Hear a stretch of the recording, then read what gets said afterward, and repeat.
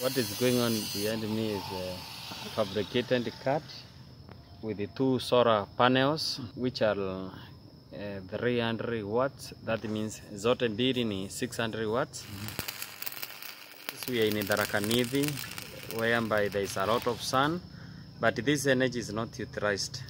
So we decided to have a mobile mobile solar panels, mm-hmm. fix a water pump there. We shall be p- taking it where it is needed. If you have a big farm, you can take it today in that uh, area, then the second day in that area, so that it can use the water, maybe mm-hmm. in the nearby river or in, in nearby water harvesting water pan.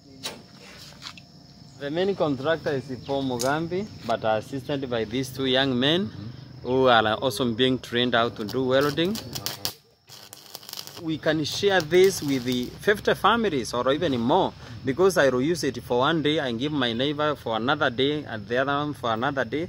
And then at the end of the day, if they have planted vegetables, if they have planted other crops, this will help them. The world should know that uh, the green energy is where we should go. Because first of all, it has no much, it has no side effect. We are using only the sun. Any other way wish who can help us to have these solar panels and also the pumps and the, also this cart. It can be very good for, for, for the farmers here to, to use it. We should not have the diesel or, or petrol uh, to, to spoil the, the environment.